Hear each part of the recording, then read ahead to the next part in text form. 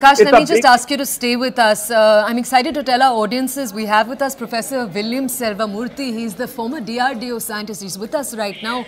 Sir, thank you for joining us this evening on CNN News 18. Sir, for us uh, lay people, obviously, we're going to come to you for a breakdown. Can you just tell our audiences the Prime Minister announcing this is the first indigenously developed Agni 5 missile?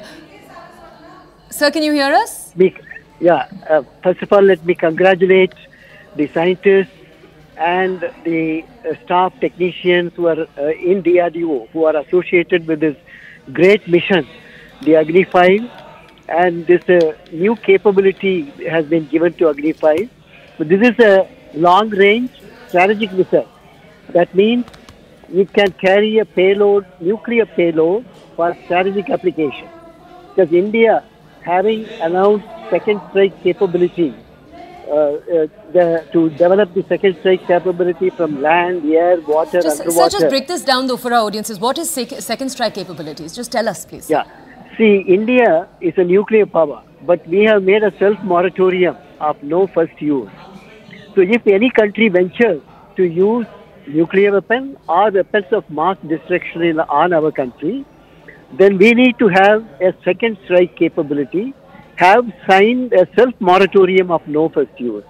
So, in that direction, this missile becomes very important and it has a range of more than 5,000 kilometers because this range is also important considering the, uh, the strategic threat which we have around our neighborhood, both in the eastern side and the western side. So, this is also a deterrent. If you have the capability to reach with a nuclear payload of 1.5 tons, it can carry up to a range of 5,000, 6,000 kilometers. It's a great capability. So it Okay. also acts like a deterrent for another country to attack India. Of So course. that is why this is a very important uh, uh, the achievement of the DRDO of the nation. So I must also express my gratitude to Honorable Prime Minister Shri Narendra Modi ji for having congratulated. It's a great inspiration and motivation. Okay. Professor, Prime Minister thank you. If I could just ask you to stay with us, I just want to tell our audiences VK Saraswat is also with us and uh, Mr. Saraswat is a former DRDO chief. Sir, if I could come to you now with our next question. Agni missiles have been developed from all the way back in the early 1980s. Just tell our audiences, therefore, what this particular achievement in that longer journey represents.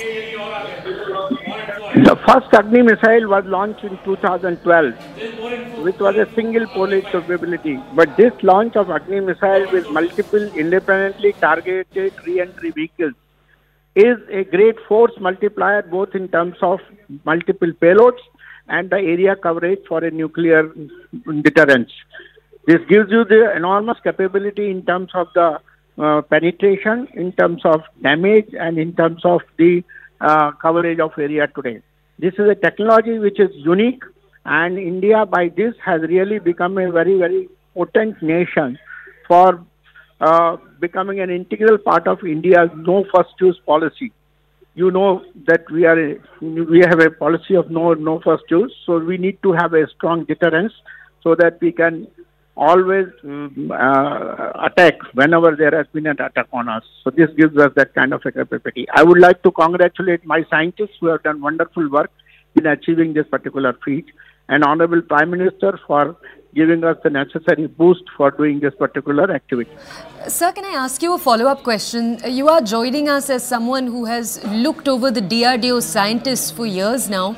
Just tell our audiences, sir, about the years of research and development that go into an achievement like this. Just walk our audiences who aren't familiar with the process through it, please. Yeah, see this particular missile Agni 5, the development work has started really in right earnest in 2008 when the project was sanctioned for its weaponization.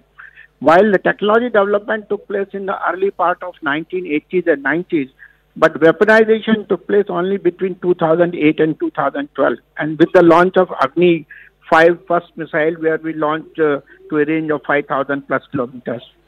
Then we were working on the for the MIRV capability. What it needs for MIRV is that you should be able to take multiple payloads into the atmosphere and then release them at predetermined attitude and altitude so that it can hit independent targets.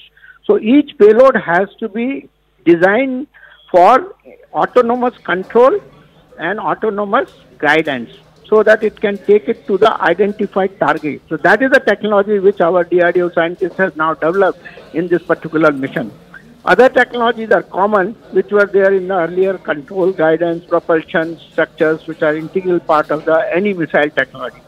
But the multiple independently targeted re-entry payloads is a major technology which has been a breakthrough this time.